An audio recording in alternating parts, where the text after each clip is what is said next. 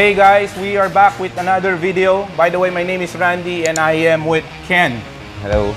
So today, Ken, we will be talking about one of our newest build. Yes. It's Project Mapanikwa. Mapanikwa. Eh, This is, ano ba to? Uh, 2022 uh, Hilux Conquest. Yes. And this one is the new facelift. This is the newly uh, built Hilux Conquest. Actually, medyo same siya ni ano eh, ni Project Starpax. Starpax. Yeah. Yung huli nating nilabas na Hilux. But with this one, medyo mas busog siya. Yes. Medyo mas And busog may siya. bago tayong kinabit dito.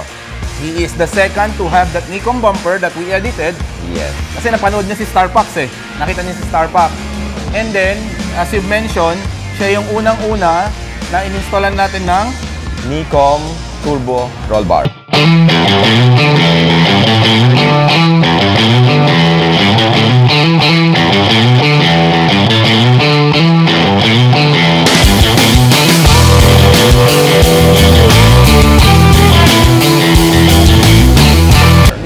Turbo Roll Bar. Actually, ongoing din siya ngayon dito sa Raptor na, na behind us.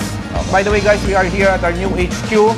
Uh, ongoing mga work ngayon. Uh, we are currently transforming around 8 rigs. And you are guys more than welcome to visit us here anytime. Yes, sir. Pa- Project Mapa Nikwa, we installed uh, Nikon all around. Nikon, uh, Nikon Front, front, then rear, rear. roll bar, and for the stepward, the Hammer Power Board. Hammer pa yung automatic kasi Yung 4 automatic. inches tayo dito. Yes. This build is hindi siya yung iba-iba kasing personalities, di ba?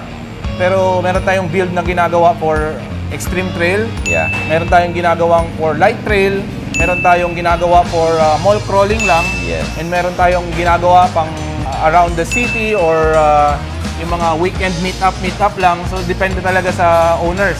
But this one, uh, it's a fully loaded Hilux, 2022 Hilux Conquest. Conquest, pero malinis pa rin. Yeah. It's all black. Yung team niya is itim lang lahat eh. Yes, then uh, isang uh, isang nag-stand out dito is yung the Fuel Rampage.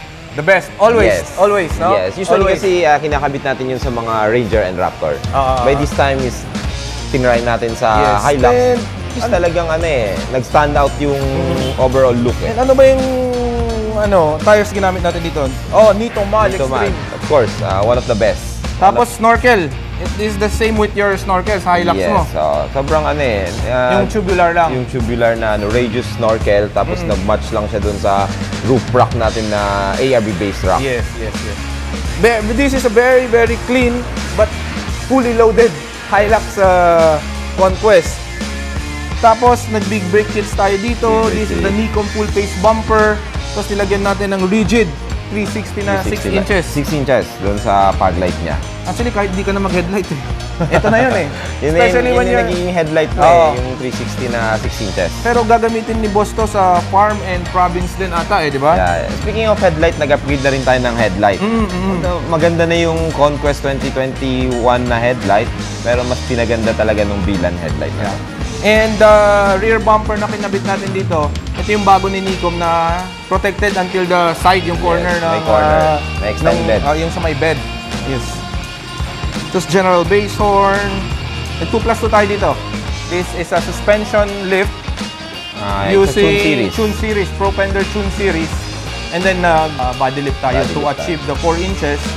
Tapos uh, Upper control arm. UCA and then para mabigay natin yung wheelset na malaking wheelset na ginusto ni boss which is the 35 12.5 R20 Yes. na Nito Mud Extreme. So guys, uh, nothing much.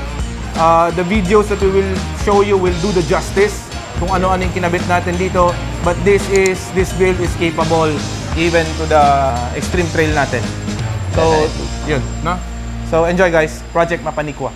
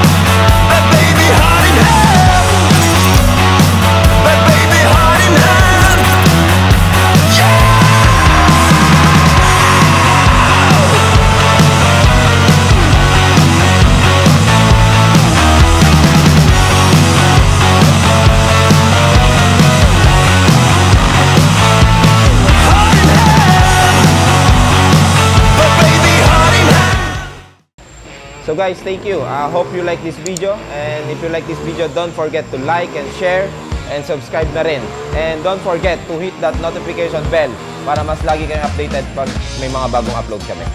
And stay tuned for another quality build.